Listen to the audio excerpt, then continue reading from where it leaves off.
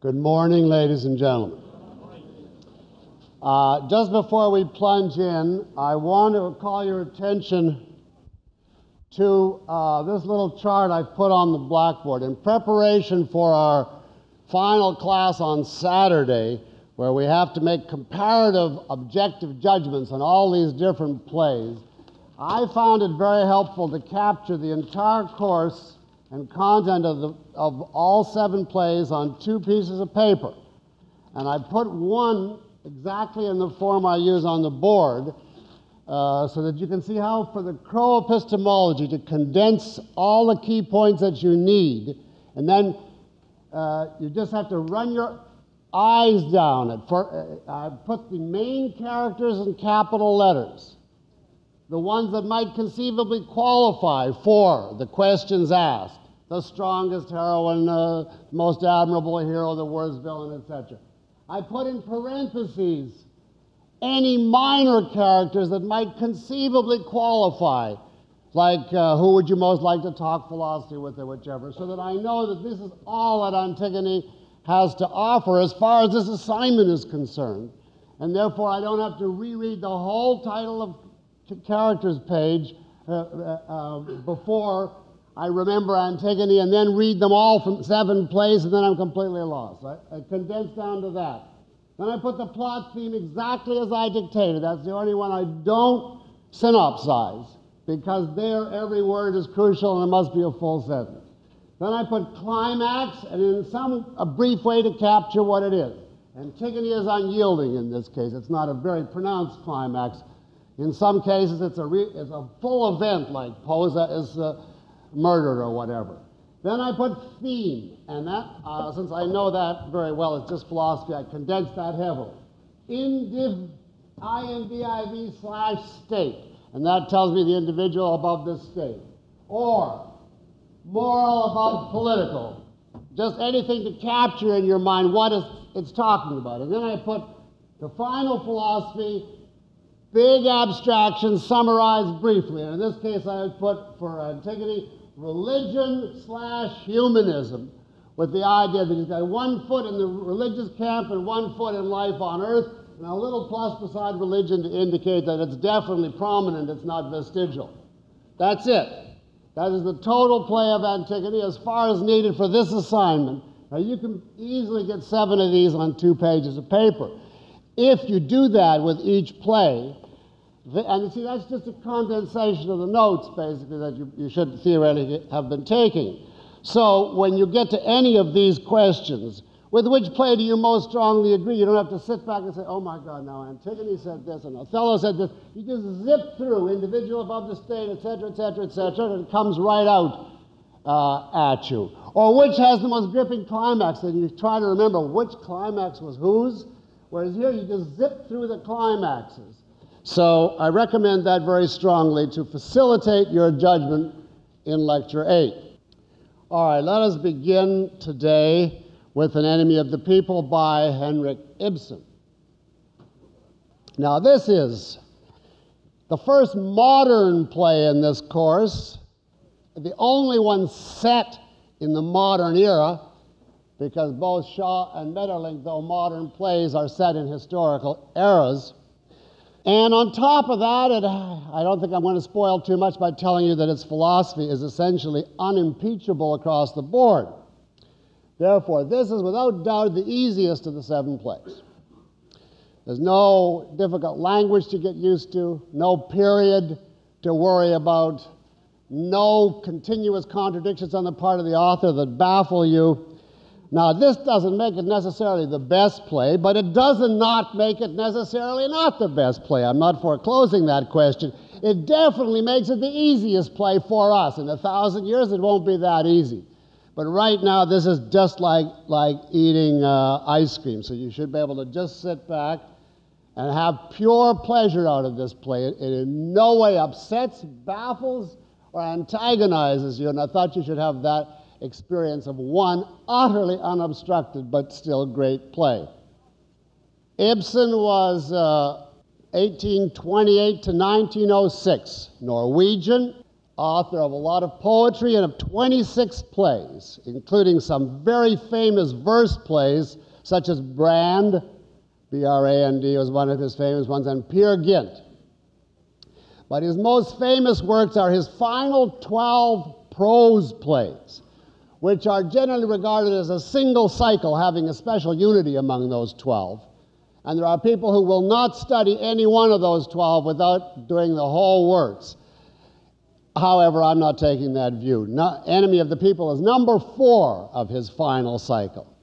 It was written in 1882 when Ibsen was 54, and that makes it just exactly 111 years old. In the United States, Ibsen is most famous for his play The Doll's House.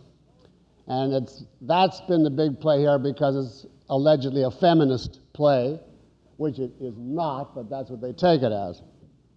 He has a much greater importance in the history of the theater. Can you remember in which work of hers, a fiction work, Ayn Rand came out with a big plug for Ibsen? In The Fountainhead, when uh, Ike the genius was showing his manuscript, and Toohey tried to explain to him that there's no room in the theater for him and Ibsen both. And uh, that if Ike was to be enshrined in the theater, Ibsen was the one that had to be destroyed. Now, that is pretty clear evidence that Miss Rand was a great admirer of Ibsen, which she was. He is correctly called the father of modern drama, in a good sense of modern drama, for several reasons, one of which I'm going to t- touch on in the end this morning. But just to orient you at the outset, he is an exponent of the well made play he is a romanticist who avidly read, guess who? Corneille, Racine, Shakespeare, Byron, and Hugo before he was 20. Obviously, did not have an American education. and he is an extremist in what I personally identify with and regard as a very good sense. He has been wildly praised and criticized his, since he started writing. And as one commentator put it, he has had a sad fate because he is, quote, too radical for the 19th century and too conservative for the 20th, unquote. In other words, that's very hopeful from our point of view. Now, a word on the historical context. We're in the late 19th century now. This is 100 years after our last play, after Schiller. Uh, at the time of Schiller, political freedom was just erupting in the sense of the American and French revolutions. And of course, technological progress via the Industrial Revolution and capitalism then took over. And that was accompanied by a full fledged romantic development in art where artists uh, were concerned with self made heroes. There was widespread intoxication with freedom, both in the sense of the idea of free will and man's self determination, and in the sense of political freedom, the untrammeled freedom to do with your life what you decided. People held the idea that under these fantastic conditions we could never go anywhere but get better and better. And they came to believe, as the 19th century did, simply from the observation that every day and every way things get better and better, to borrow the formulation from Coué, they came to the idea that progress is self evident and automatic, an idea of which the 20th century would have disabused them entirely. But uh, the idea was all change will be a gradual change toward improvement, and thus evolution became the byword of the period. Evolution did not become the byword because of Darwin. Darwin became the byword because of evolution. He's the one that took the idea in the atmosphere of evolution and gave it a scientific base within the field of biology. But it had been essential to Hegel's philosophy before Darwin. It was in the atmosphere everywhere. And uh, as you'll see, that I cannot think of a thinker influenced by the 19th century seriously who was not an evolutionist in one way or another. Uh, even the religious people thought that we evolved in understanding God's word, and Ibsen also comes out for evolution. So when you read 19th century, you pretty much have to discount evolution as a theory of what they believe because everybody believes it is like motherhood. Now, Ibsen has to be understood in this context, not that he's at all difficult to understand, but his, the overall message of his total body of work is that man is free, but he doesn't use his freedom intelligently. We need the freedom to break with the past, to start over, to throw off the establishment, to think things through afresh and from the beginning. And who does he therefore remind you very much of in the 17th century, the early modern period? It's the same program as Bacon, Francis Bacon, and Descartes held. Sweep everything aside and start over from the beginning. And that's always a hopeful note if that's somebody's viewpoint, because they're throwing out all the prejudices and errors and trying to start over rationally. Ibsen is therefore a thorough iconoclast, an idol smasher. But that does not make him a nihilist or a skeptic. A skeptic would say that freedom is impossible, for instance, because man isn't good enough for it, which is what they all say today. Or freedom is a threat because we don't know how to use it, which the existentialists in the 50s used to say. Ibsen believes man's mind is capable of governing him and directing his actions, but that man is not using the powers he has. That all of his institutions are warped and corrupted and have to be reconstructed from scratch. So he comes across as attacking everything marriage, morals, and quote, even liberalism and reform, to say nothing of conservatism and reaction. Uh, and since everything is pretty rotten, you can almost always sympathize with him. An eloquent touch uh, capturing his perspective. The very final words he uttered on his deathbed were he was in conversation with someone, and the, his very last three words were, On the contrary.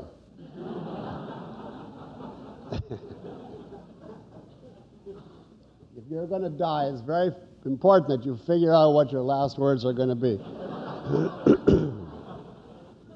and then stop after you've said them. Now, the plot of Enemy of the People was based on an incident which Ibsen had heard about.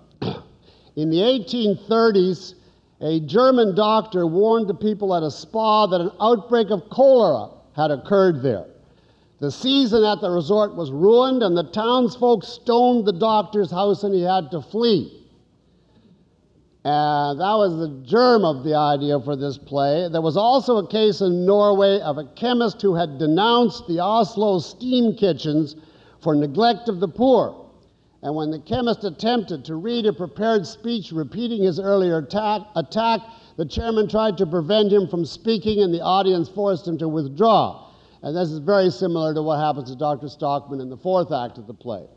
So here again, even though it's 19th century, he's taking his main plot situation from events that he heard, but transforming it into a profound piece by his genius. Let's go now to number two, the plot theme. Now I'm going to give you an example of what a nominalist would say about the plot theme. A nominalist is someone who, on principle, rejects essences and abstractions, who can do nothing but recite concretes. And that is the great majority of critics and literary commentators through the ages. Now, you may have heard of Carl Van Doren.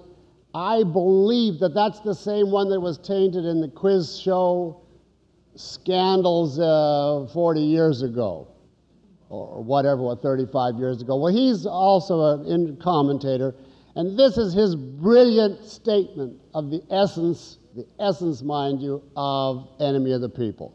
Quote, this play is the story of a man who learns that the water of the municipal baths in a town in Norway is infected supposes that the authorities will at once move to do away with the public menace, finds that because of the necessary expense they refuse to pay any attention to him, tries single handed to correct the abuse, is defeated and mobbed, and has to take refuge. And that, it goes on and on like that. And then he comes to what does it mean? Now, of course, for a nominalist, what does all that mean? It doesn't mean anything whatever because it's just a string of concretes. So he says, the misfortunes of the play are too highly individualized to be looked upon as allegorical, symbolical, or even typical. Now, armed with that wonderful overview, the student is supposed to go in and read this play. And, uh, in other words, there's no wider meaning, no theme, no message, no significance. I, I thought I would give you that as a horror example as to why by, you've got to grasp the essence, which is the plot theme. Otherwise, you have nothing except a recapitulation of what happens in the play with no insight into it. Now, the plot theme functions, I think, as I've said, to a play the way a definition does to a concept. Did I tell you that? In essence, it gives you the essence of the play condensed in a way that contrasts it with other plays and relates it to those plays which are closest to it. Just the way in which a definition, you get a genus which tells you the category which is similar, the most similar to the thing being defined, and then a differential, what sets it apart.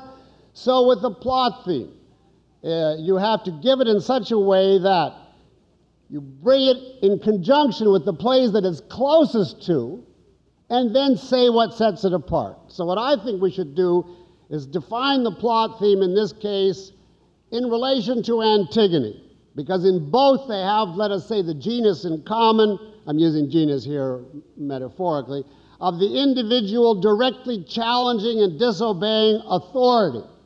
So they are basically the same kind of play. And the best way to capture uh, enemy of the people is simply to differentiate, uh, uh, differentiate it from Antigone. And here are some of the key differences which, none of which change the fact that it's basically the same situation as uh, Antigone. but here's one difference uh, Antigone challenges the authorities over a moral issue directly the refusal to give her brother proper burial. Thomas Stockman confronts them first over the issue of factual truth. Are the baths poisoned? And only as the conflict deepens does it become a moral issue. And of course, it is not the same issue, same moral issue as in Antigone. The moral issue in this play is to accept the truth or not. To accept the truth at any price or to evade, fudge, and compromise it for the sake of higher concerns. So in this play, the conflict is first over the content of truth, then over the value of truth, and only then over freedom, the freedom necessary to pursue the truth. So that's one difference in content of the challenge. Now, there's also a more modern element to the challenge beyond the issue of the content. Thomas Stockman is a scientist, a modern experimental scientist. He is not an ancient princess. Now, Antigone is a moralist who had no objective proof of her morality, of what the gods really expect us to do with the corpses of the dead. But Stockman, Thomas, I always have to say Thomas because he's got his wicked brother. Thomas Stockman, the scientist, has objective experimental proof of what he stands for. And so his mission takes on the meaning of the man of reason as against the passion of the mob. So, from the very nature of his uh, clash, you can already see emerging Ibsen the secularist, in contrast to Sophocles the, the religionist. Uh, Ibsen the secularist and even atheist, which he was. so this is a completely this worldly play. By the 19th century, God has dropped out altogether. now he comes back in Shaw and in other forms, but he never comes back the same way that he was uh, in the past. Now, another difference with Antigone, another and a more modern slant to this play, is the nature of the authority being rebelled against. Antigone defies the corrupt ruler in a monarchy.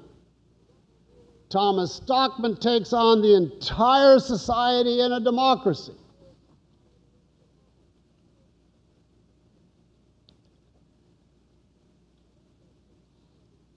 Now, what does society fight him over? It's a really modern society here. For instance, it's to be contrasted with what society fought Socrates over. Society fought Socrates in the ancient world because of his religious convictions and because of their religious convictions, such as they were. Socrates, they thought, was impious. He worshiped false gods. He corrupted the young, etc. There's no such ideology on the part of society in this play. On the surface, the fight is over money because the people keep talking about the fact that cleaning up the baths is a two year shutdown. Vast sums of money will be lost. It'll mean economic ruin.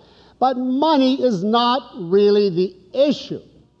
Two seconds thought would convince any of them or you that in the long run they're going to be doomed financially anyway. Because when the tourists come and start to die in drove, obviously the word is going to get out. So if money were really the issue and they wanted to be dishonest, the most these people would do is rush to clean up the premises on the sly so no one would ever know. Their dishonesty would never get farther if they were motivated by money than hiding the truth while they busy tried to get rid of the poison. But the point, of course, of Ibsen is that these are short range mentalities. They are non planners, non copers, non thinkers. They simply don't want to face the problem. They want it to go away. They want to evade. So we have got nothing on their side but numbers. Their attitude is we're the majority, and that decides the issue. If we want it to be that way, that's the way it's going to be. In other words, this is a modern society. It is not a society that has religious convictions, however false, and persecutes a martyr who disagrees. It's a society of short range relativists, compromisers, and evaders. And this is another reason why he's the father of modern drama, because he captured this type of society with great skill. All right, I think with those contrasts, we can just dictate the plot theme without batting an eye here. It's very simple and straightforward plot theme. An idealistic scientist champions truth against a society of compromisers.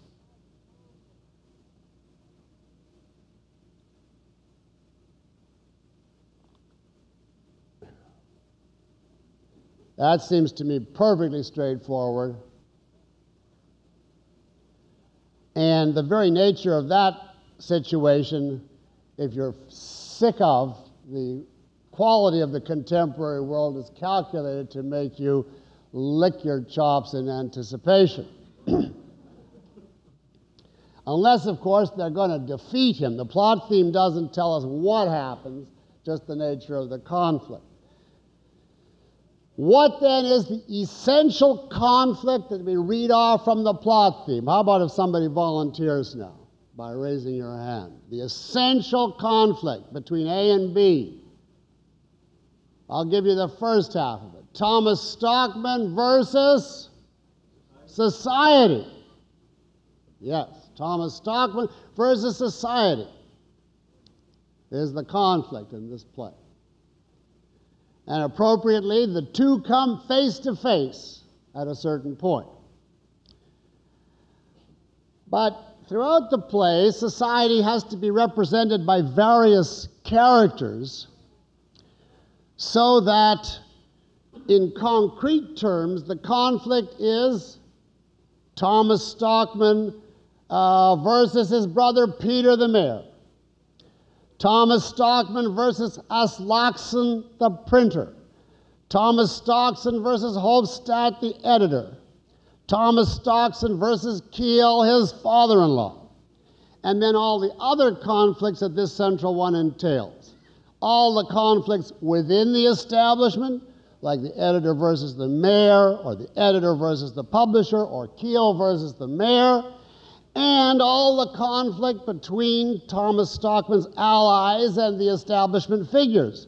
For example, Horster, the sea captain, versus the ship owner who fires him. Petra versus the editor. Petra versus her employers who fire her, etc. And here again, the message I'm trying to hammer home as in any great play, there is a central ruling conflict and then an array, an abundance of derivative clashes. All of it, therefore, making for passionate, suspenseful, exciting, dramatic play. When the establishment is split, we have the drama of each of them being at each other's throats. And when the establishment coalesces and unites, then we have the virulent ferocity of the mob against Thomas Stockman. So, either way, there's something riveting uh, going on. Number three, plot development. And uh, absolutely logical, as all great plays are, inevitable, and even better than that. First, the establishment of the situation, and that is Acts 1 and 2. In Act 1, we learn that uh, Dr. Stockman, if I just call, let's make the rule that if I just call him Stockman, I mean the hero. If I mean the bad one, I'll say his name. I'll say it's Peter. Stockman is happy, sociable. He expects praise for having discovered the poison. Act two, he seems to acquire allies, but the mayor, surprisingly, surprisingly to him, declares war and Stockman is indignant and amazed. At this point, the situation is established. There's going to be a fight.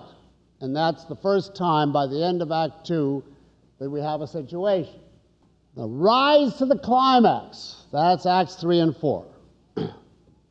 and now we watch as Stockman is step by step stripped of all illusions of support from different factions within the community until there is nothing left for him but to appeal one on one against the whole society. And I hope you see the necessity of his defeat and disillusionment at first in the development of the play.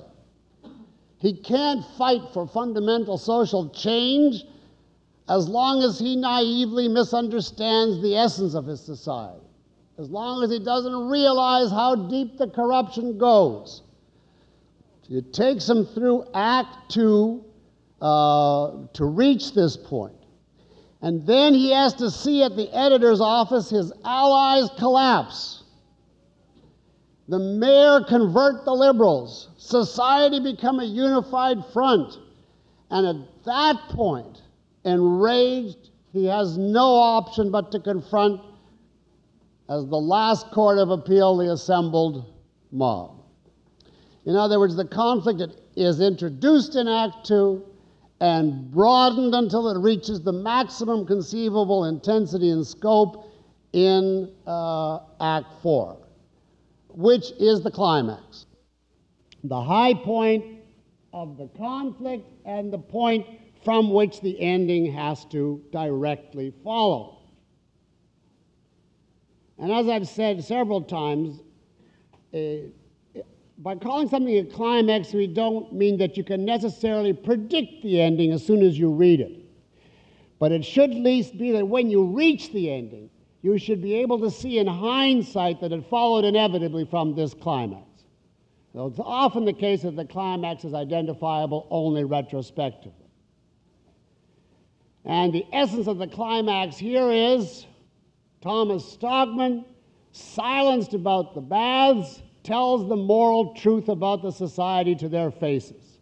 He denounces the authorities and the public, the compact majority, as he calls it, and he receives the final sentence from the uh, Supreme Court of democracy, the mob. He is, they claim, an enemy of the people. So it's again, he's the lead character, you see, and that's his ironic title in the play. And of course, the people then, with great logic, turn ugly when he tells them what he thinks of them and take out after him. And that leads us to the third and last part of the play, the resolution, which is Act 5. Now, here again, as with the great playwright, the resolution doesn't just meander to a close and that's it. It itself has tremendous suspense and structure. Um, uh, Stockman's attack on the authorities has escalated, as we saw in the climax, to an attack on the whole society and all the citizens. So logically now he has to end up how? He has to end up alone, alone with a few allies. And in the situation, in the resolution, the situation is brilliantly might, uh, milked. Every kind of temptation is dangled before him, one after the other. The mayor offers him his job back if only he'll recant. Kiil offers to make his family rich, and it turns out that if he doesn't give in, his family is going to be paupered. The editor offers him all the support and publicity he'll ever want.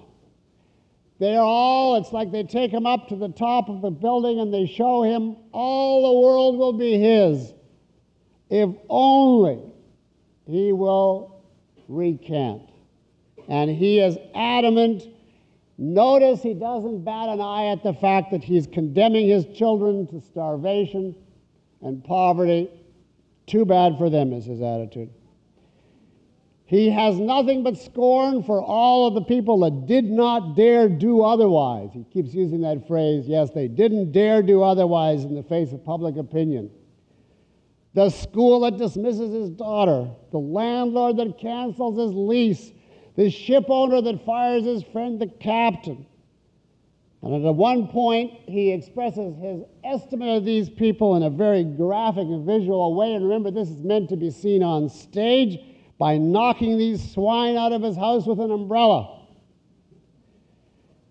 At one point, we see him thinking of escaping to the far west. Now, the far west does not mean the far west of Norway, which would be very wet. It means the United States, where he could live on the frontier. There still was a frontier. This is before California was settled by the Republicans. And um, live in solitude. But he changes his mind about that because he's not going to concede his hometown to the enemy. And so his inevitable decision is to stay alone and start over. So he's starting over at the end of the play and going to build the right society just exactly in the way that Ibsen thought his whole life mission was to start over and build the right society. Now we have to answer this question Is the fact that Stockman ends up alone with his few supporters and family starting over, is this failure or success for him? Is this a happy ending or a tragic ending? It's a happy ending. He's a success because he's happy. And he's happy why? Because he's discovered that he is, he, well, he always knew he was right. But now he's discovered that the right man is the metaphysically efficacious man the man with the power to cope with reality and achieve his goals. And that's what he calls the strong man, or what Ibsen other, other places calls the creative, selfish individual. So he has the power to start life anew. So there's no doubt that Ibsen regarded this as a happy ending. Now, we were always concerned with the logic of the ending. Does a play have to have the kind of end that it does? If it's a good play, yes, it does. It's not just the caprice of the author, it's not at all his caprice. Why does this play end happily? Why must it? Why couldn't we have had the same situation but it end up the way Socrates did in real life? He has to drink hemlock. Or why couldn't it end up with Thomas Stockman being alone, hated, crushed, and a suicide? Now, it would be the same situation, the same development, but the ending would have taken a dramatic, malevolent turn. Now, there's two main reasons why it could not have ended up this way. And I stress to you, an author's creative freedom does not give him the freedom to have whatever ending he wants. If he has a logical situation and characters drawn a certain way, the ending has to write itself. If he wants a certain ending, then he's got to start with that ending and rewrite, or rather, write the entire play to bring him to that ending. But the idea that people have of, well, you've got to change any play into make it happy or make it sad is fantastic. It means whoever thinks that has no idea that a play is like a work of geometry. And once the axioms are laid down, the theory is the theorem is inevitable. The skill of the playwright is to do the inevitable while letting you think, oh my God, I never expected it. But it's got to be I never expected it, but I see it couldn't have been otherwise. This is what the same thing a great murder mystery has to be. It startles you, and then you say, yes, it had to be this suspect. So, ending is something to be explained, not wished away. And as I say, there's two main reasons in this play why it simply has to have a happy ending. One comes from the theme, which we'll discuss later, but I think you can easily see that whatever travails he goes through, Stockman is never really threatened. He's so independent that they can't hurt him.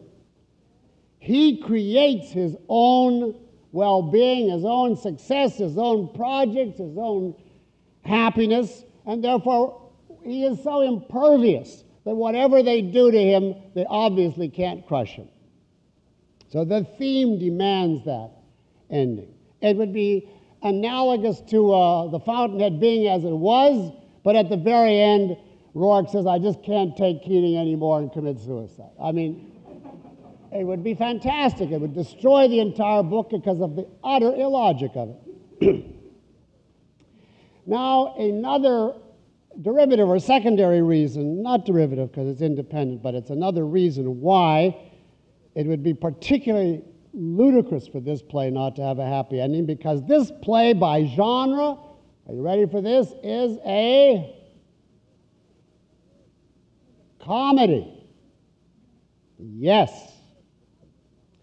This is not a tragic comedy either, it's a real comedy.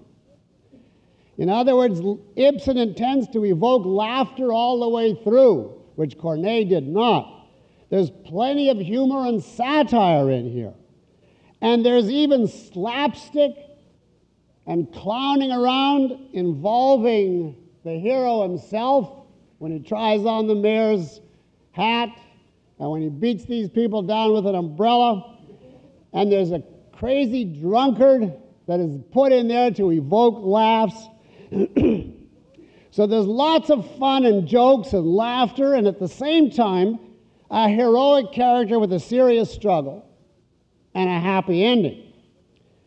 Now, this is a new phenomenon in drama. This combination of laughter all the way through, seriousness and heroism all the way through, and a happy ending, there was no name for it when Ibsen wrote it. And Ibsen himself wrote his publisher the following quote, I am still uncertain as to whether I should call it a comedy or a straight drama. It has many of the traits of comedy, but it also is based on a serious idea. Unquote. And uh, absolutely true. Absolutely true. And you see, qua comedy, it has to have a happy ending. and one commentator makes this clever phrase. He says, As one would expect, this is Ibsen's most militant play, a comedy. So Now, in regard to the ending, which we usually do discuss when we get to the resolution of a play, it's similar in many ways, but also different to the ending of The Fountainhead, and I just want to point that out. This, the whole play and The Fountainhead are very similar, or I guess I should put it the other way. The Fountainhead is very similar to Enemy of the People in its theme, uh, essential characters, development, etc. so it's hardly an accident that Miss Rand admired Ibsen. But I want you just now to observe there's a certain similarity and difference to the ending of The Fountainhead. Both Stockman and Roark are individuals who successfully defy society. But Roark wins in the present. He sees the reality of his ideal in this world in his lifetime, as against in future generations.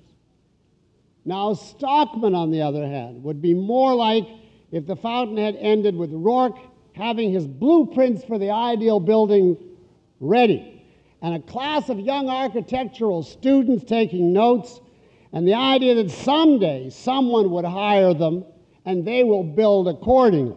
So, another way to put it would be Thomas Stockman ends up the way I did, not the way Roark did.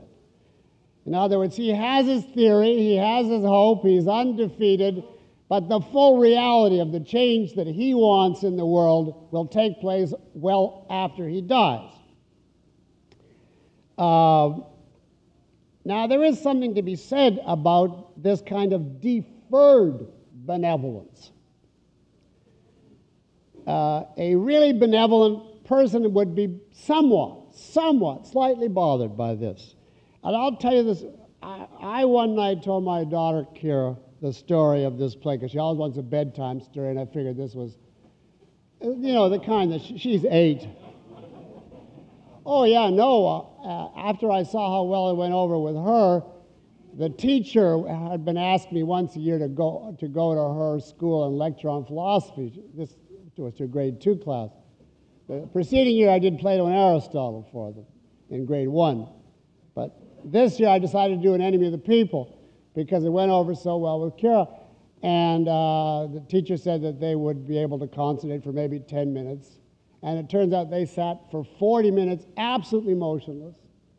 And they were so enchanted with the play that they demanded by you know, popular sentiment that the class stage the play using the original text, the adult text. So she found a, an excerpted version that was basically Acts 4 and 5, but with enough exposition put in so you could follow it. And that class put on the, the whole thing with props and uh, scenery, etc. And the principal and the other teacher says it's inconceivable that a grade 2 class is going to be able to perform Ibsen. and they did.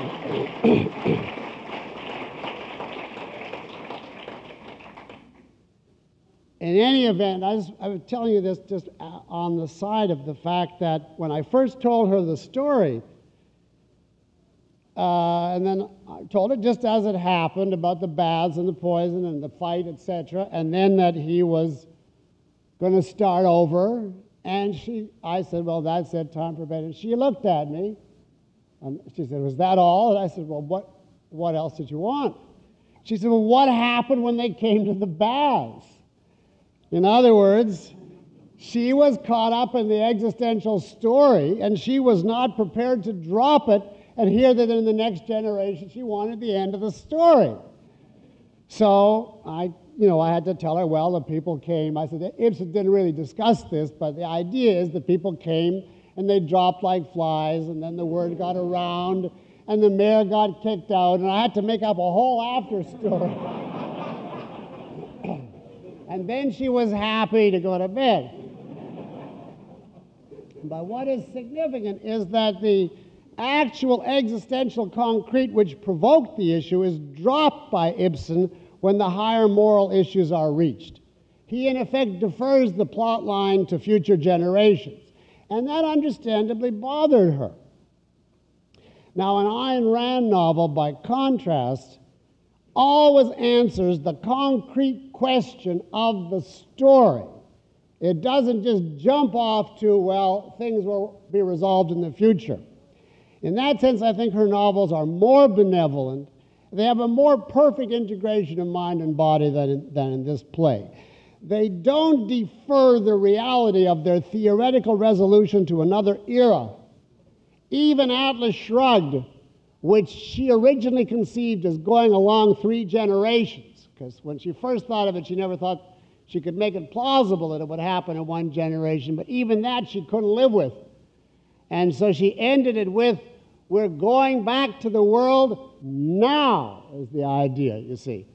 Uh, we've won and the world is ours today, as against it's my sons or my grandsons. All right, let us go now to number four characters. Which uh, characters are essential? Obviously, Thomas Stockman.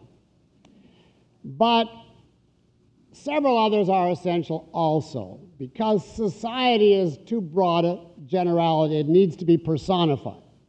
Now, there have been playwrights who are prepared to have society represented on stage by an undifferentiated mob. I think of Gerhart Hauptmann, the uh, German playwright in the 20th century, late 19th, 20th century, um, whose idea of the proletariat was just a mass of workers thrown on, and you couldn't tell one from the other, and none of them had a bigger part than any other. Now, Ibsen is a thorough individualist. So even the dramatization of the collective, he wants some strong, eloquent individual to speak for. And thus, the mayor, Peter Stockman, his brother. Now, the fact of them being brothers is only to heighten the contrast to say, in effect, you see, they had the same upbringing, but look how op- opposite they are. It is not a hidden code. now, Peter is the minimal antagonist, but if it were only him, it would be a pretty thin play because we'd have to make real that the mayor does speak for everybody. And if the rest of the society never appears on stage, we would end up, in effect, with a two character conflict. It would be Thomas versus Peter, like Antigone versus Creon, you see. And since it's of the essence that the enemy here is the mob, the group, the majority, it's very logical that he has to give, he, uh, Ibsen, has to give society other voices of its own. You want to see representatives of different classes, different political parties, so that what emerges is the sense the whole society. And the main groups that Ibsen selected were basically three the liberals, who are allegedly revolutionaries, they're Marxists, they want true socialism, they fight for the workers, they are in effect the left intellectuals and labor and they're symbolized by the editor. Then there's the petty bourgeois, the small businessmen class, and they are presented as what they are middle of the roaders, trying to appease everybody. Aslaksen the printer is the spokesman for them. And then there is the aristocratic establishment, the rich, which is deliberately drawn by Ibsen with two branches. One of them is now outdated, but it was not in the 19th century. The two branches of the aristocracy are the mayor, which is just the old aristocracy in a modernized uh, version, and the other branch is Kiil. He represents the feudal mentality, the pre modern mentality the traditional aristocracy before the Industrial Revolution, the pre scientific aristocracy. We don't have that anymore except among Hollywood movie stars. In other words, he doesn't even believe in science. He thinks the whole thing is a joke by Thomas Stockman. It's just a sheer intrigue. Now, that is, a, is an attempt to grasp a, stre- a segment of society that has now perished, thankfully. So he is the most dated of the characters. But you should try and do that. If, if it's a great playwright, he does not just multiply characters at random. So you should try to figure out what is he getting at by this character? What is the point of including this? Why every character has to earn its inclusion in the play. Not just because it's intrinsically interesting, but because it's an essential in some form to the action or the meaning of the action. And the more you see that, Uh, for instance, it's a fascinating exercise to go through St. Joan, which has a very large cast, and show exactly what he has in mind by every sub character. And he does have something in mind. Unfortunately, we don't have enough time tomorrow to go over them all. But if you read commentaries, you'll see that none of those are thrown in at random. And that's true of any great play. You can take anybody and show why this was put in. Now, I don't maintain that every one of these lesser characters in Enemy of the People, for instance, are absolutely indispensable. It de- depends on what the complexity the play will carry, how long it takes to develop these characters, etc., and so on. And you could even legitimately say how much would scenery and costumes, etc., cost if it's a small company he's writing for. But at minimum, I think we could agree with the fact that the mayor has to be there as the outspoken, antagon, uh, outspoken representative of the establishment, and the editor has to be there as the uh, spokesman of the liberal intellectuals. We have to see the fight within society, and then the fact that their fight is meaningless in compared to where they agree as against the true uh, individual. So um, that much, those two at least are essential. Now, in looking at the characters, there's another group of characters, a smaller part, but also essential to the play, and that is Thomas Stockman's allies and friends. And that means basically his wife and children and Captain Horster. Now, why are these characters necessary? well, there's several reasons. One, they heighten suspense because they raise the stakes of the conflict. they help dramatize in action all the consequences that are going to flow from Stockman's challenge to society. They make you care even more because you see what's going to happen to his friends and associates as a result. It's also uh, very important, I think, for purposes of objectivity. That is to say, if you are going to show a man standing against everyone, 100%, there is always going to be an unspoken implication, however perfectly you present him, that there's something eccentric about him. That he's a weirdo. And therefore, what you want is to take some perfectly ordinary, obviously healthy, decent people, however small their role, and show that they admire and are friendly with him. And that takes away the curse of being some kind of psychotic or, or uh, uh, weirdo. So, for instance, Mike in the Fountainhead serves that purpose. The very fact that Mike, the, you know, the blue collar worker, is friendly with Roark automatically gives Roark an objectivity that he is a real human being that a decent, uneducated man would enjoy being friendly with. and the same is true of Ismene in regard to Antigone. If you saw only Antigone, but without her sister or her lover, the question would be raised is she high strung? Is she. You see what I mean? And in this case, uh, going on with uh, Ibsen, there's still a third reason for these uh, intimates and friends of Stockman. Ibsen wants to pave the ground for a happy ending. He wants to leave Thomas Stockman a future. And if he's utterly alone, he simply can't build that future.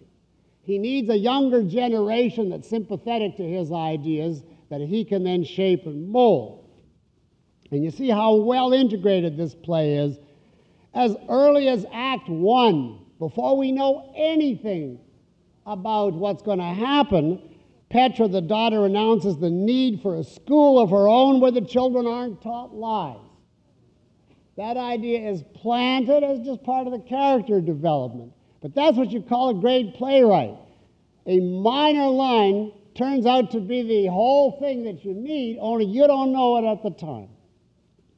That's what you call a well made play. Uh, I think it was Miss Rand was quoting Chekhov once that said you can tell the difference between a good play and a bad play by the fact that in a good play, if there's a gun on the mantelpiece in Act One, it goes off in Act Three. there's nothing that isn't cashed in on. Now, Petra and Horster represent the new younger generation.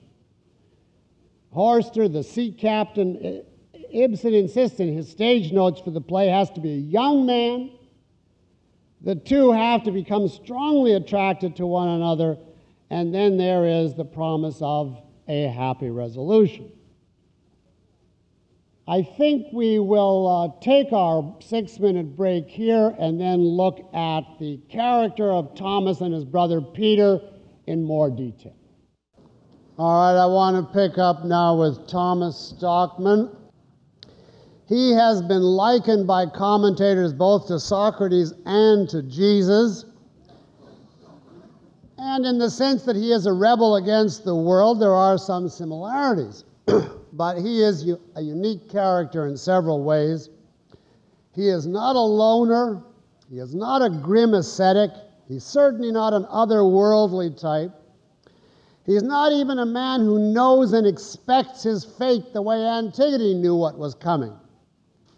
Uh, Socrates expected a clash on philosophic grounds. He knew the world around him. Jesus was omniscient. Antigone knew what to expect of Creon, but Thomas Stockman simply didn't expect any trouble. He is presented as a unique kind of rebel. He's warm, gregarious, patriotic, amiable, convivial, fun loving, people loving. There's nothing within him prompting him to rebel or preparing him for the role of rebel. On the contrary, he has a lot of friends, he loves them, he's a happy man. But as he discovers, you have to choose, and truth is even dearer to him than his friends. He never expected the conflict, but when it comes to his naive astonishment, he's astounded. But nevertheless, he comes down on the side of truth. So, in a way, Ibsen dramatizes his uh, Stockman's devotion to truth even more fully by this kind of characterization of his protagonist. Now, like Socrates and Jesus, Stockman too stands to lose all worldly assets by his stand. He's going to lose money. He'll be fired. He's going to lose his reputation. He's going to be the enemy of the people. He's going to lose his friends and any power or influence that he had. His, he and his family will be completely abandoned. But unlike Socrates and Jesus, he is not completely indifferent to this. He is not indifferent to love, fame, money, influence. Uh, Ibsen makes a point that he cherishes esteem. He loves having his articles praised. He enjoys his money, spending it, and the luxuries that it'll bring him. He does want to influence and change the world. He doesn't take the attitude of, he doesn't care, he's above what goes on. He is a thoroughly worldly rebel, a very uncommon phenomenon. And at the outset, he expects to earn and deserve all these good things uh, money and love and influence, etc. He expects to earn them in his life by his own judgment and effort. Then gradually he sees what he is up against. He still wants worldly success, but first he sees he has to fight. So Thomas Stockman is a first hander, a self starter, a self mover. He has a fighting spirit, a love of truth, he's highly intelligent, and he has an ebullient, optimistic outlook about man and the future from first to last. He's guiltless, tenacious, uncompromising, no conflicts within himself. no doubts, no self doubts. He is certain. So he's the essence of strength. Now, I stress this fact that he's not a pining idealist alienated from society. He feels he's really enjoying himself. It's a splendid time to live. There's great things to work and fight for. And here is Ibsen's description of him, of Thomas Stockman. Now, listen to this one, because this quote has caused more trouble in interpreting the play. Quote, I have enjoyed writing, this is Ibsen to his publisher, I have enjoyed writing this play. Dr. Stockman and I got on so very well together. We agree on so many subjects. But the doctor, this is the key bad or confusing sentence, but the doctor is a more muddle headed person than I am. And because of this and other peculiarities of his, people will stand hearing a good many things from him which they perhaps would not have taken in good part if they had been said by me. Unquote. Now, this has been the standard line of critics ever since. The consensus is that the flaws of Thomas Stockman are what makes the play palatable. And uh, here's from one such critic the fact that Dr. Stockman is portrayed as a comedy character, part muddle headed as Ibsen himself says, takes the curse off his violent attacks on the mobs and the masses. People are willing to accept such things from a man at whose personal foibles and eccentricities they are invited to laugh. Unquote. And here's from Harold Clurman in his book on Ibsen. He says in this play, quote, the little man grows big, but as Ibsen's Stockman, he remains little and lovable. A gravely thundering or heroic Stockman would provoke personal and intellectual skepticism. But we can embrace the Stockman who replies to the mayor's question, Are you a raving lunatic? with the answer, Yes, I am. Unquote.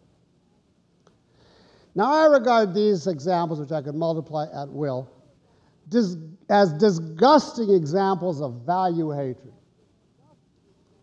But let's just explore for a moment what is the truth about Stockman in this respect? What are his alleged flaws? What explains Ibsen's remark about him being muddle headed?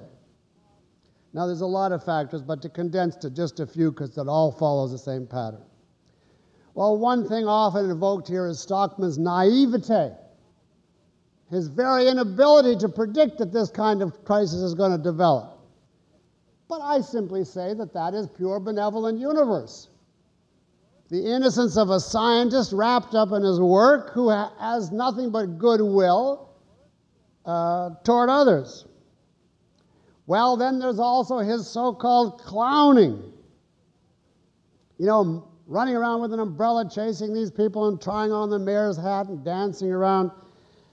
I think it's obvious that this is overflowing good spirits. This is not self derogation. Now, I will concede one thing only. Thomas Stockman does not have, let us call it the heroic resonance that Antigone or Lacede or St. Joan does. But I think that's simply because it is a comedy. It's not because he is a flawed character within that comedy. He's also been criticized by the fact that he seeks and needs praise when he writes a paper. But I think that's fantastic as criticism. Because anybody who writes something good wants other people to enjoy it. The question is do you earn the praise that you want or not? And it happens to be the case that Ibsen coveted medals from foreign governments, which he thoroughly earned. So Stockman is like Ibsen in that respect. I do not regard that as a weakness. Now, of course, there's the fact that he is an intemperate extremist which all the critics uh, write down as his basic weakness. But of course, I think that's the essence of his virtue, and so does Ibsen. Ibsen, in that way, is exactly like Dominique, or, or vice versa. Uh, and in his play Brand, he has the character say, all or nothing. He does not believe in the middle of the road or the golden mean or moderation. To Ibsen, that is anathema, and I find that tremendously refreshing. Now, as far as this muddle headed term, term goes, you have to remember that Ibsen applied the comment to himself as well as to Dr. Stockman. I don't take it as a serious comment by Ibsen. It's a tongue in cheek, it's a playful comment. And I think it's more about Ibsen than about the character. Its meaning really is, in effect, Thomas Stockman is even more innocent and hopeful, less corrupted by the world. So it's like an admiring remark with an edge of sardonic wit. Now, it's very rare to have an unbreached hero who evokes laughter. But nevertheless, I think that's what you have here. And the message is not that he has feet of clay, because the laughter has to be with him, not at him. It has to be the laughter of delight, not of ridicule. And of course, the modern critics can't conceive of such a thing. Uh, their idea of laughter is Ellsworth Toohey's to tear down. All right, now let's turn to Peter Stockman. Now, he is allegedly motivated by money, power, social standing. These are the conventional values. But the point is that he wants all these things out of context, short range, regardless of justice, just because he wants them. So he is primarily a whim worshiper. He's uninterested in thought or ideas. Interestingly, he denounces intellectual innovation explicitly. He is the real second hander. Now, to show you how deep Ibsen is and how well thought out this play is, you can see the deeper contrast between Thomas and Peter, which is presented from every aspect of the play. Look at the overall development of the play.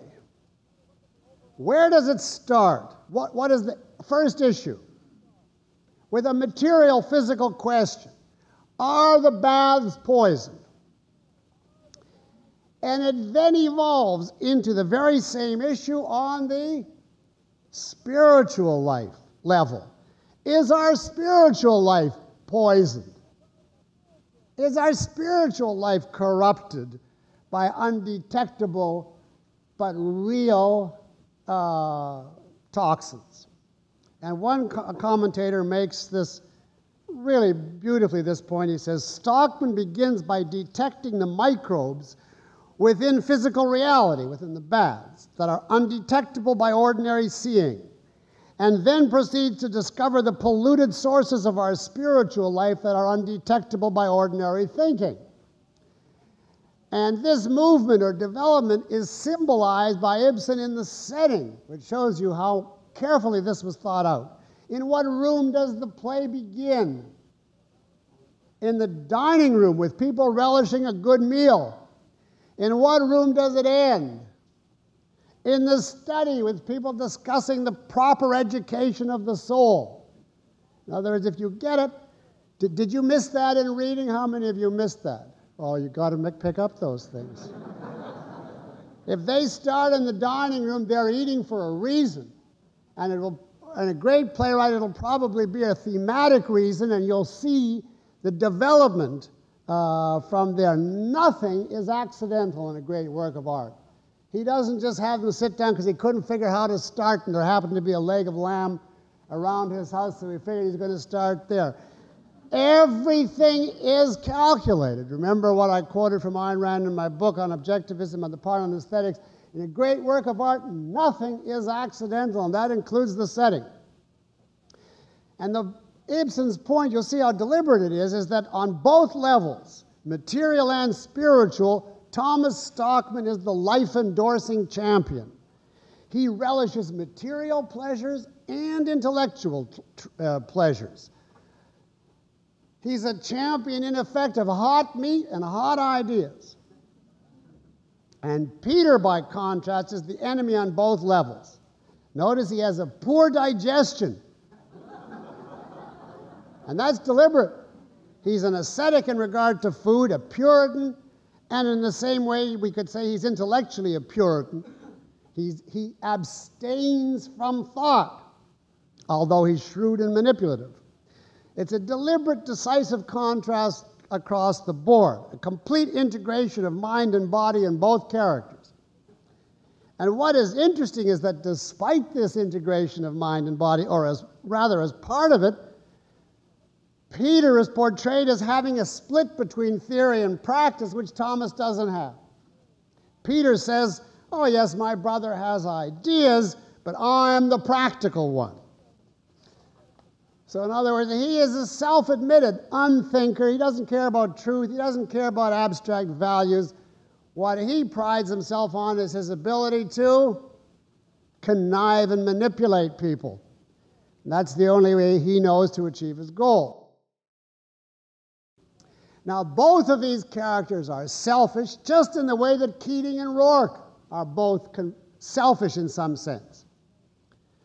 Peter, in this case, they both have the same name, the bad one. I think that's an accident. Peter, um, Peter Stockman wants to grab the unearned and sacrifice others while protesting that he's doing it for the welfare of mankind. Now, Thomas Stockman and the others talks about the welfare of the people. But when you come down to it, he places his own judgment and his own ideals as supreme and as much more important than the survival of the country as a whole, which he says repeatedly.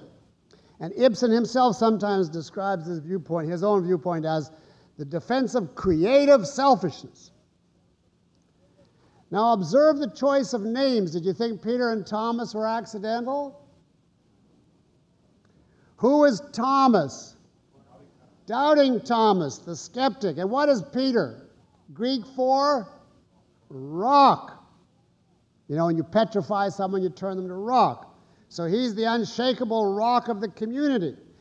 But another little touch of genius observe that these names at a deeper level are easily reversed. Who is the real rock on which mankind depends? The real absolutist. Thomas, the doubter. And who is the real doubter, torn by uncertainty and self doubt? The rock, Peter. So it's a perfect little contrast.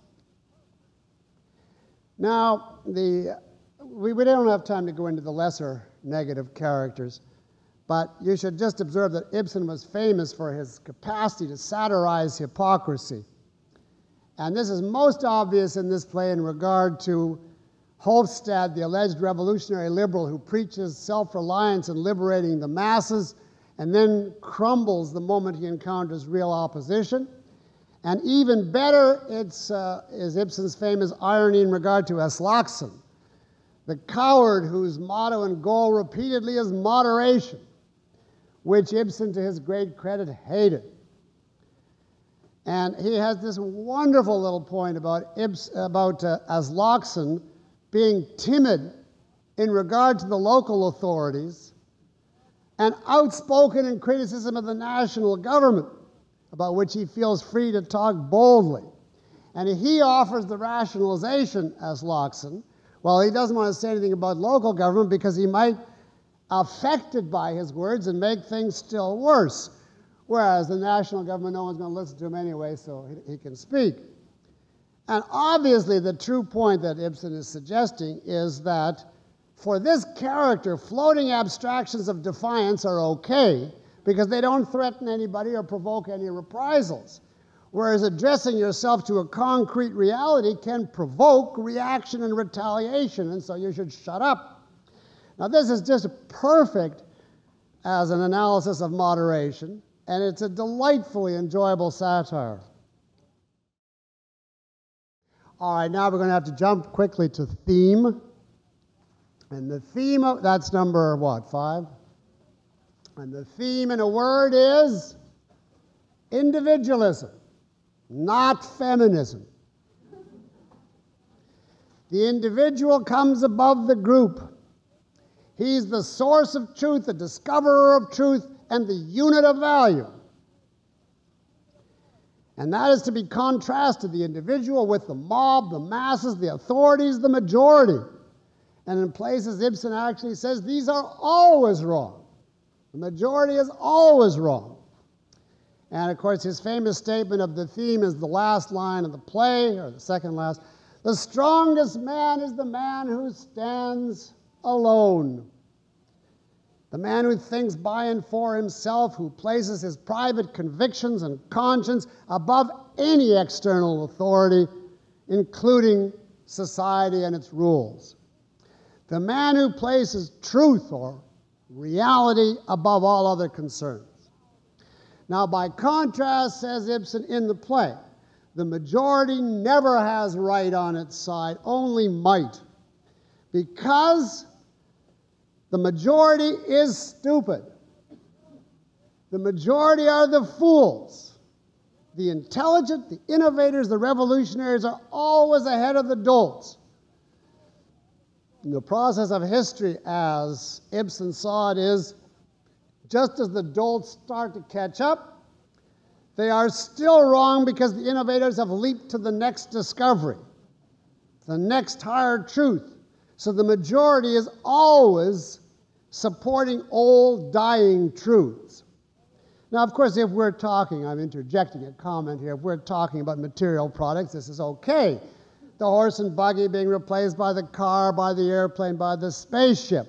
Each step being greeted by dismay with the mob, and by the time they accept one, the next one is here.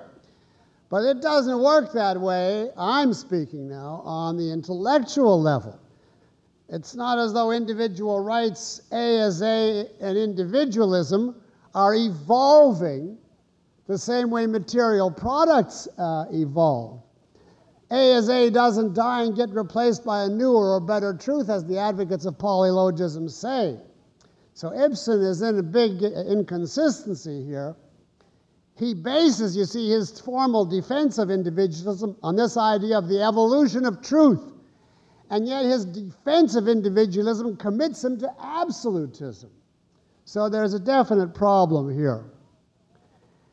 He has to hold his truth as an absolute against the masses, and yet he's committed in this play to evolution as the justification of every truth, and therefore that nothing is really an absolute. And that's too bad that he got sucked into the evolution trap because, in fact, he is a thorough absolutist. He detests compromise and halfway measures. Um, I've already quoted All or Nothing from Brand, but let me quote you a bit more from that play. Brand is a religious fanatic, so he is hardly what you call a secular. And to this audience, he would certainly not be a sympathetic character. And don't think that Ibsen is full of characters like this. I had to really work to come up with an Ibsen character that you would, you would admire. But nevertheless, uh, Brand says to a hedonist who is his antipode in the play Enjoy life if you will, but be consistent. Do it all the time. Not one thing one day and another the next. Be wholly what you are, not half and half. Everyone now is a little of everything a little sin, a little virtue, a little good, a little evil. The one destroys the other, and every man is nothing. Unquote. Excellent speech to give uh, in itself and to give Ibsen's view of the evil of compromise and how most people destroy their own uh, lives and character. Now, you see, unfortunately, by tying in his ideas to evolutionism, he left himself, Ibsen, open to charges like, the day of individualism is gone, you yourself said truth evolves, now we're in World War II, etc., etc.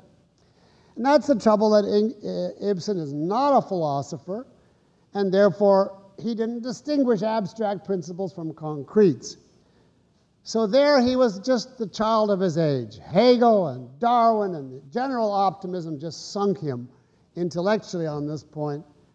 Um, now, another formulation of the theme is the minority is always right. Now, he's, he is there trying to say that uh, the intellectual vanguard is always moving to the next level of truth which the majority has not yet discovered. He doesn't literally mean that any minority on any question is always right. And uh, there's speculation that the reason, or one of the reasons he included the drunk in the climax, because there was a guy completely alone, but he was the opposite of being strong and right. So it's just like he was trying to acknowledge that not every minority is right. Thematically, what Ibsen opposes is collectivism. And thus he gives this speech to his arch villain, Peter Stockman. I mean, as an arch villain in this play, he's hardly a villain in relation to Iago. But Peter Stockman says to Thomas, quote, You have an ingrained tendency to take your own way. The individual ought undoubtedly to acquiesce in subordinating himself to the community, or to speak more accurately, to the authorities who have the care of the community's welfare. Unquote. So for Ibsen, that's the evil. Any subordination of the individual, his rights, his freedom of thought to the group.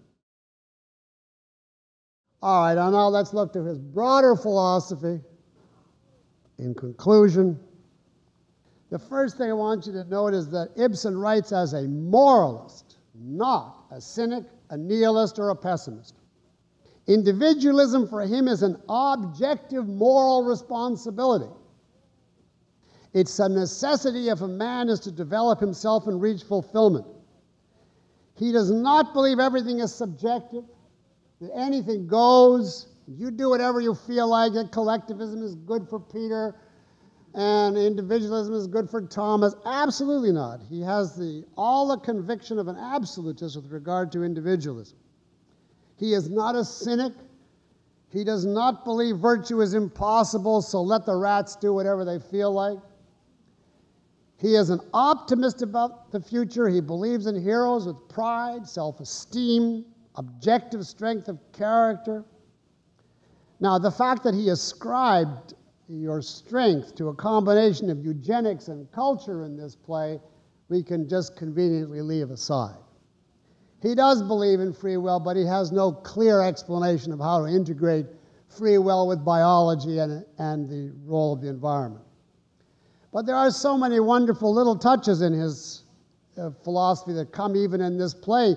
He believes strongly you must love your work. Do you remember that little exchange between his two sons? who are astounded that the school doesn't think they're going to that you should enjoy your work. He believes you're obligated to pass judgment, objective judgment, both in science and in morality. You're obligated to think, to develop, to grow. So, in that sense, he's the opposite of a libertarian who says, do whatever you feel, there is no ethics, there is no truth, etc. He is an advocate of selfishness which of course would be necessitated by individualism. If you're unselfish, then you have to, of course, sacrifice your most precious, and that means sacrifice your individuality, your own ideas and values for others. And in that broad way, he, he agrees with objectivism, or objectivism agrees with him. And there's a, there's a very interesting quote from Ibsen on his view of selfishness which I am going to take a moment to read here. It's in the context of he got a letter uh, from a friend of his who was complaining that he, the friend, was alone. And Ibsen replied, and I quote, When one stands as you do, and by implication as he himself did, when one stands as you do in so intensely personal a relationship to one's life work, one cannot really expect to keep one's friends.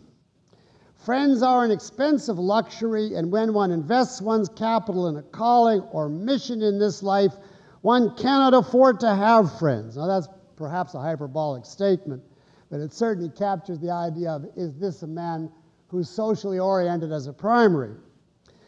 And then Ibsen continues a little later. Oh, no, this is in another letter. Most criticism boils down to a reproach to the writer for being himself. The vital thing is to protect one's essential self, to keep it pure and free from all intrusive elements. So you see here his stress on the primacy of self development, self fulfillment, self determination, independence of others. It will have beneficial consequences on others, but that is not the goal. Uh, and of course, if there's to be any clash between your ideas and friends or, and society, you know what direction you have to take. So Ibsen was a real champion of selfishness he did not have a philosophic definition of selfishness, really. He did not have a system of philosophy of which selfishness was an ingredient. So there were many unanswerable questions as to what did selfishness mean in this situation and that situation. The best I can say is he had a freewheeling but genuine view of selfishness. He had the emphasis on thought, work, and personal fulfillment, but it was so, still too generalized to become a historical moving force. Nevertheless, uh, he did have it. Uh, very strongly the idea no group can expect you to put your sacred convictions second. Uh, your convictions have to come before any external consideration, including the interest of the group or of any factions within it. And you get in the enemy of the people line, such as, quote, all the incapables must be turned out in every walk of life. We need young and vigorous standard bearers, as against Peter the true altruist, declaring that to Thomas, You're a public servant, and as such, you have no right to a private opinion. I mean, it's just as clear as clear could be. Now, as to Ibsen's politics, since his view of selfishness was largely free floating, you probably won't be surprised, although you'll be disappointed to learn that he was a self proclaimed anarchist. As part of his general iconoclasm, and he uttered statements such as, quote, abolish the concept of the state and you establish the principle of free will. So he was anti everything. He was anti capitalist because he took Peter Stockman and the short range businessmen as an example of that. He was anti labor. He was anti socialist. He was anti communist, although at times it sounded like he was a communist, but not for long. Remember, this is in the 1880s. He was anti liberals, anti conservatives, and they said to him, Are you for royalty or republicanism? He says, I'm against both. He was avowedly against democracy on two grounds. One, he said, intelligence always belongs to the minority. So democracy is doomed by the fact that it elevates stupidity to a ruling position. And secondly, he said, it's ridiculous to talk about a right to your, to your opinion. Most people are not entitled to hold opinions. now, this is true epistemologically, if not politically. But he's denounced as an elitist or an aristocrat. He is some funny combination of rule by aristocracy plus anarchism, which means he doesn't really he doesn't really know what he stands for uh, politically. He's against everything and he couldn't figure out a theory of social relations which really protected and preserved the individual uh, uh, that he advocated.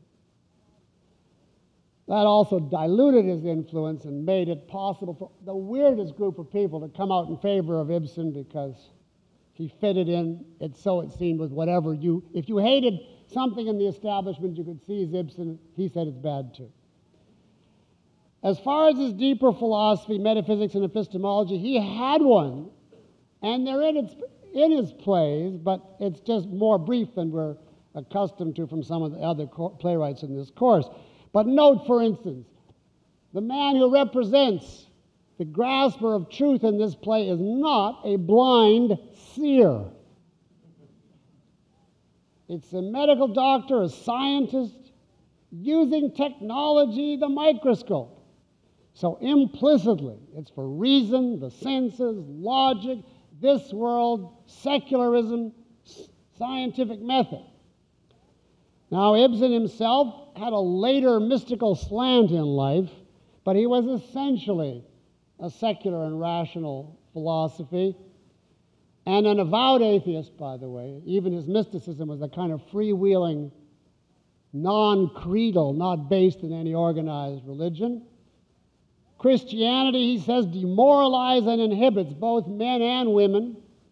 But on the other hand, in some ways, he respected religion. He would never joke about religion, nor let you make a joke about religion in his presence. To him, religion pertained to sacred values, and he still had enough residual respect for it that he wouldn't laugh at it even though he didn't believe it.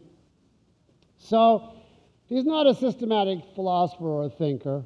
In that sense, for instance, he's completely different from Schiller, who could give you chapter and verse of his views and sticks them right in his place.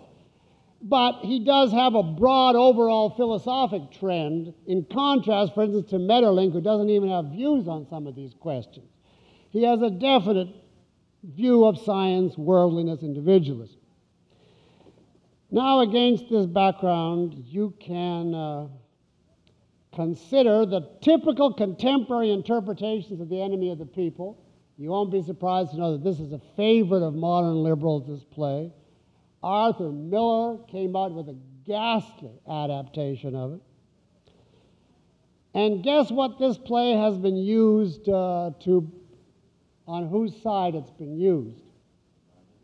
Environmentalists and ecologists. Because Ibsen is against pollution, and so are they.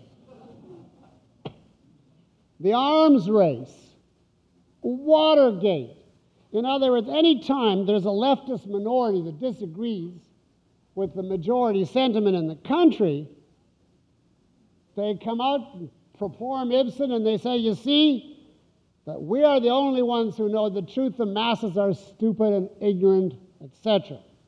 Now, in a way, Ibsen opens himself up to this because he doesn't always stress the need of objectivity in your self assertion. He leaves the idea too often of the individual is always right, the majority is always crazy without explaining context and reason. But if you do take the broad picture of Ibsen's plays and Ibsen's philosophy, he would be all for technology over ecology and self defense over appeasement. So, all of this modern ad- adoption of Ibsen is, is a bizarre misinterpretation. Now, I want to conclude our discussion with Ibsen with one comment, uh, I guess would come under the general heading of style. Just to explain to you briefly why he's been called the father of modern drama. There are many reasons, but this is one. He has heroic characters who are not nobility, aristocracy, or royalty. Now, all the plays to date in this course the heroes are princess, lords. But here we have commoners. Even Othello has got a royal lineage that we, we find out about. But we have here, we have plain middle class heroes workers, scientists, doctors, etc. In other words, it's people who gain their stature exclusively from their character not from their birth or their title. Now, until the time of Ibsen, these ordinary characters always appeared in farce, in demeaning comedy. They took pratfalls, the laughter was at their expense, they were portrayed as cowardly or like Moliere, miserly or hypochondriacal or whatever. But here, Ibsen extends a dignity and a seriousness, a complexity to human beings on the basis solely of their character, not their status. And that is his so called realism. He has middle class protagonists, the modern man in the modern world, not the heroes of uh, antique legend or the kings of history. Uh, Ibsen started this approach, which we now take for granted in a major way. And observe that at the same time, at the same time that he was able to do this, He was not a naturalist. His dialogue is essentialized. It's not, as someone observed, how people speak, but how they ought to speak. Uh, he is a romanticist in his use of language and his whole approach to art. Universal themes, heroic characters, exciting, well made plots, hinging, hinging on the free choices of his characters. And what would be a really good name to use uh, for his aesthetic orientation since he is a realist? About taking real characters as they live in today's world and presenting them from a romantic, idealized, you could call him a romantic realist. And he knew it, and he has some marvelous lines, which I'll quote to you in conclusion. One contrasting him and Zola, because Ibsen had been called a realist, and he didn't like being called a realist because they knew that the people took it to mean Zola. So here's a great quote from him. If you know Zola, you'll appreciate this. Zola goes down into the sewer to take a bath. I, in order to cleanse it. Which is exactly the difference you see between. And uh, people said to him, Well, you mustn't be so moralistic. You just should record the times. And in one of his plays, he gave a perfect answer to that. He said, This is from Love's Comedy. A man must love, excuse me, a man must live in his own times, but he can try to make the times worth living in. Unquote. I'm going to end on that line. Thank you very much.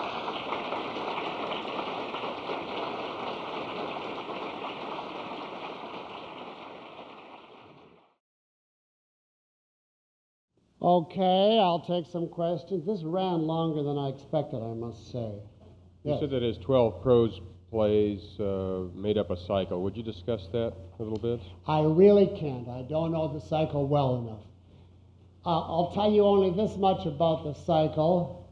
The Hegelians, or at least some Hegelians, see the cycle as a development within the dialectic process and have worked out the plays as being related as thesis, antithesis, and synthesis, and then that whole three against the next, and they have it all carried out, and it has a kind of a horrific plausibility to it. You know, if you get into that rationalistic world, like the play right after Enemy of the People seems to preach the opposite. That is conformity, and the, the person who stands alone is, is no good. And then there's supposedly a synthesis of it, but I am just not enough of an Ibsen specialist uh, to be able to make an intelligent comment.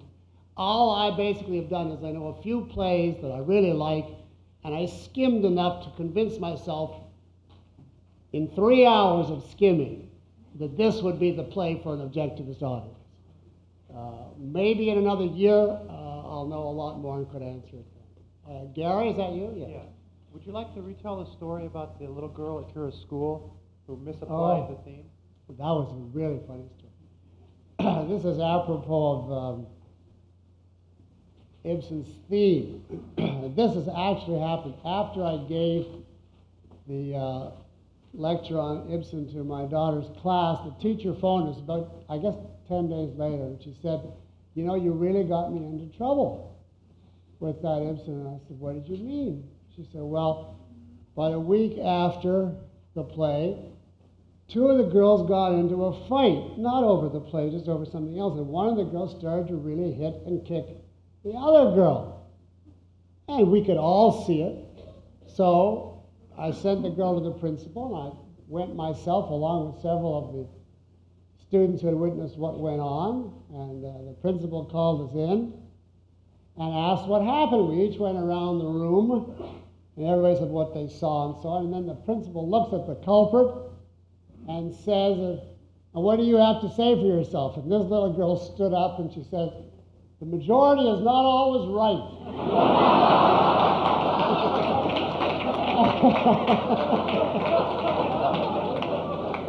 the teacher apparently was absolutely dumbfounded. the principal didn't know what to say and sent them back to the class and said, Now that is a misuse of Ibsen. But you see, he leaves himself open to that. It's very important to be exact. But you see how powerful these plays are. The message that can get through. Uh, these kids were asked, uh, and they're seven and eight, they were asked to write a one page letter to me afterwards, summarizing what they got out of the play in their own words. It was uncanny. There wasn't a one out of um, 30 kids that didn't state that the thing that struck them is that people aren't always right and you have to think on your own. At seven, they got. So if you can just imagine what education, and they got it without pain and without preaching. I myself think if literature were properly taught, you wouldn't have to teach philosophy, you wouldn't have to teach art. You could do such a tremendous job, and the stories are so wonderful. I mean, the, the plots and the characters we already have, they don't even have to be simplified uh, if they're properly taught to a class. The only thing I did to make this story more interesting was to throw in a few perceptual touches, like I told the class when he tested the water to see whether it was poison. They put it, a litmus paper in it, and if, the if it turned red, it was poison, and if not, it wasn't. And guess what? When they put it in, it turned red. And that was the only kind of detail I made up to make it a little more visual and perceptual for seven and eight year olds. But other than that, I just told the straight story, and they ate it up. They were simply enthralled. And uh, one of the things in the question period was who was going to be the next mayor. and they don't have a clear, you know, after Peter Stockman is exposed, they don't have a clear sense really of the difference between fiction and reality. And One of them asked me, would I agree to be the next mayor?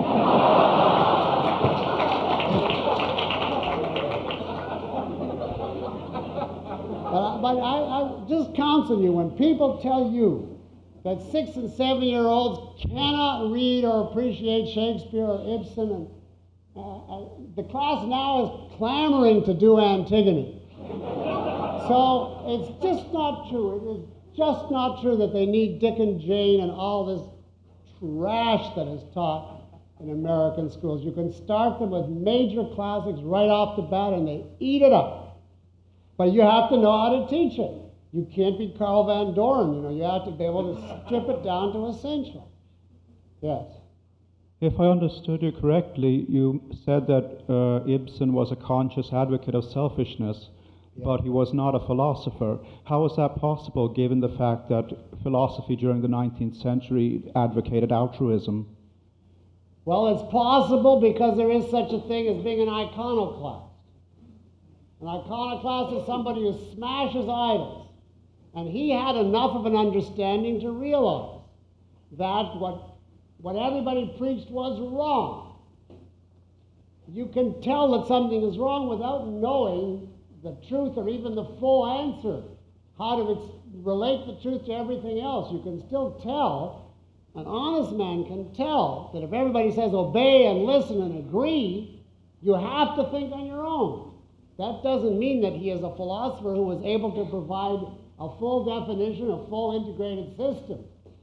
But you can't give mankind, put mankind in so abject a position that only philosophers can think, or only philosophers can have philosophic ideas. That's completely untrue. You can have a philosophic idea if you're intelligent, even a radical one. The problem is it won't go anywhere historically. You won't be able to do very much with it if you don't make it part of a whole system.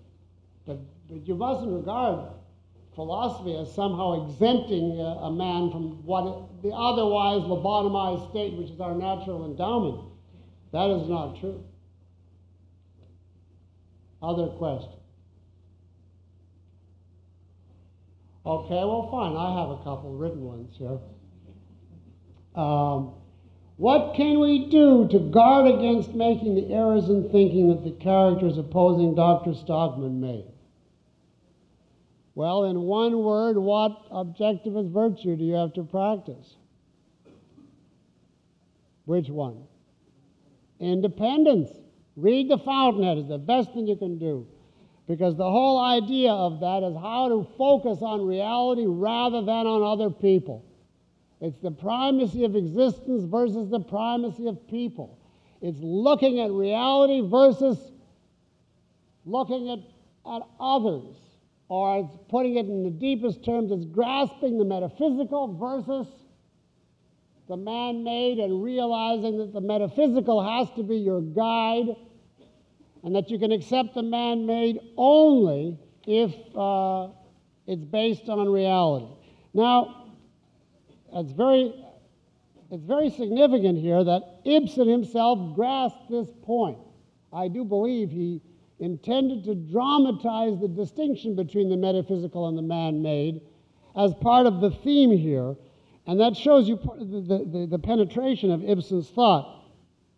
But uh, he goes down to the epistemological root of the distinction between Peter and Thomas, down to the basic relationship between their characters' consciousness and reality.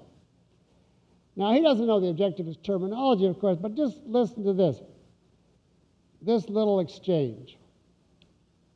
When Peter and Thomas are arguing, and Peter Stockman says, The water supply for the baths is now an established fact, and in consequence must be treated as such. Now, that to me is a tremendously uh, fascinating formulation. It's an established fact. What is he doing by calling it that? He's making it a metaphysical reality that you have to bow to, even though it's established only because people refuse to challenge it and accept the real truth. And uh, Peter Stockman says to him, How could you be so stubborn? This is a fact. And Thomas Stockman says, The water's poisoned. Are you mad? It's a lie. And Peter Stockman says, Oh, it's all just your imagination. Just join us and don't be an enemy of the community, and everything will be well. Now, this is as close as you can come to saying one of these men gave his allegiance to the metaphysical and other to the man made. And uh, the play itself, therefore, gives you the answer of what to do to uh, avoid it. And what's interesting is that each of them looks at the other as though they're mad, as though they're simply insane. Peter Stockman can't grasp why you would raise all this trouble. It's a fact. Why would you go against it? And of course, Thomas Stockman, being reality oriented, cannot grasp this is a blatant lie and everyone's going to die. How can you ignore that? And uh, uh, this, is, this is a, real feat of uh, character characterization. It goes to the very core of the two uh, different uh, epistemologies. So, um, Another thing I may say that Ibsen is celebrated for is the depth of his characterization. And this is certainly a classic example. He, uh, he's going all the way down to the relationship of consciousness to existence. And you, you can't uh, uh, beat that. All right, I still have time for any, yes, go ahead. With the, uh, the film industry now, how do you see the long-term prospects for uh, the continuation of stage drama. Say that again? In light of the, uh, the establishment of, of film and movies, how do you see the long-term prospects of oh, stage I see what you mean. Do I think the theater will continue as an art form in the light of the movies? Yes. Absolutely. Then I don't see any problem uh, whatever with that. Movies can do things that film cannot. It's completely untrue to say that film can do everything that the, the drama can do, but better. That is absolutely untrue because there's a there's a a, um, aliveness to drama on stage that no movie uh, will ever capture. The actual reality of a character in front of you that is taking action before your eyes it will never be captured in that same way uh, on film. Uh, also, by the very absence of elaborate sets and camera tricks and so on, you're given the essence. Stage is an essentialized medium in a way I would say that stage is to movies what sculpture is to painting. It's a highly essentialized, simplified, dramatized version with many fewer attributes. But for that very reason, it has its own charm and emphasis and style. And I happen, now I'm not mandating this as an objectivist virtue, I happen to like sculpture better than painting. I would rather see five statues than one that, you know, that I partly like than, than five masterpieces of painting. I don't say that that's obligatory, but I happen to like the stylization of sculpture. A statue catches my eye right away. And the same is true, I would go to a mediocre play over a great movie any day of the week. Any day. And it's not that I don't like movies, they just do not give me the, the power, the charge that an evening in the theater does if, if it's half decently done. Uh, I've very rarely seen a movie that I feel is, is a life experience. You know, my life has, has improved for having seen it. There's movies that I enjoy, but they, they don't in me, I'm giving you this is just a biographical fact, they don't reach the level of feeling this is, a, this, is a, this is an event in life that makes life worth living. But I often feel that in the theater if it's a great play, uh, even just moderately well uh, produced. So I don't for a moment believe that movies are going to uh, withstand, uh, you know, wipe out plays. On the contrary, in my more pessimistic moment, I think ahead to the future of the dark ages, where there's going to be no more electricity and no more movies. And at that point, when they start over again, there'll be a long, long period where there's going to be plays, because all you have to do is stand up and talk uh, without movies. So if I had to pick which is the most long-lived of the two, I would definitely vote for the fifth. How's that for answer? Steve, I'll give you the last question. Okay. Uh, I have in my notes here that in some way uh, Dr. Stockman does not have a heroic resonance. Yes, like I Ant- said. I said that. Yeah, and in another way of saying that, isn't it, that he is not a larger than life Yes. character? Okay. I agree. Now, doesn't that present some kind of a problem, you know, in relation to the others? I'm not sure What's what. the problem? I agree with your observation so far, but what is the problem? Thomas, uh, excuse me, Ibsen was not a hero worshiper in the way that the good playwrights that we've so far taken was. One of the things they wanted to do was create total heroes that you could. The best example is Corneille, who got tremendous pleasure out of creating a giant of stature. Now, Ibsen wants to present the, the middle class, the ordinary man, as a fount of strength. But that's not exactly the same as a larger than life hero. So, in that way, you can make a good distinction between Ibsen and Ayn Rand because she took the Ibsen technique of taking the middle class man, but she made him the larger than life hero. You see, that you could worship. So she gave the middle class man the sta- stature of the Cornelian hero, which Ibsen himself didn't do. And that's a very interesting uh, uh, question that, that uh, you raised. And it's relevant to the fact that a lot of the uh, women here, several of them have complained that it's the, the question that I asked about which character you would like to sleep with is not fair to women because there's, there's many more heroic women for the men to sleep with than vice versa. and uh, they universally tell me they don't want to sleep with Dr. Stockman. and I can, you know, I can sympathize with that because although he is an unbreached and you know admirable character, he is not presented as a romantic hero. Uh, he would not be like the Robert Redford type if you cast it in the movies. He'd be a character actor type, you see. And he's, he's happy with his wife in a kind of settled marriage, which is not romantic bliss.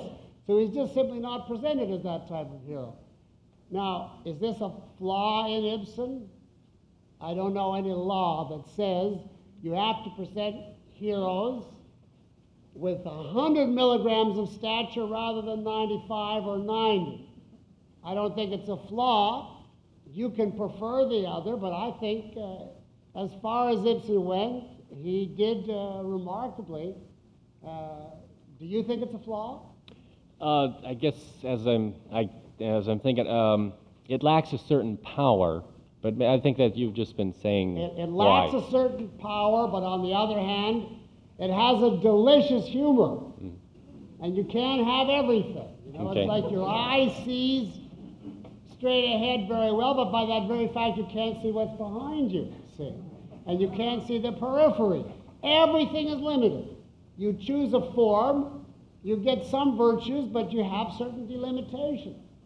And if you want, and you treasure as I do, the excoriating of character like Aslaksen, then you want a raucous humor as your leitmotif, and then at the same time, you can't have a solemn romantic hero that the women want to go to bed with. You just you can't have everything in one place. Okay.